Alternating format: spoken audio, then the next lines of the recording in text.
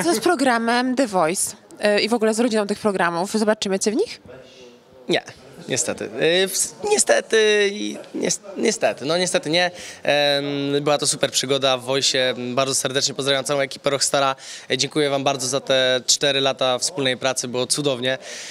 Niestety y, mój brat y, też y, serialowy i przyjaciel Maciek Musiał też zrezygnował z prowadzenia e, obecnej edycji, także gdzieś tam za ciosem razem stwierdziliśmy, że ten duet e, był fajny i może lepiej, żeby zostało tak, żeby e, ludzie pamiętali nas z tego duetu, a też jakby różne inne koneksje poza tym e, mają dużo do rzeczy, także ale to zostawię na kiedy indziej może.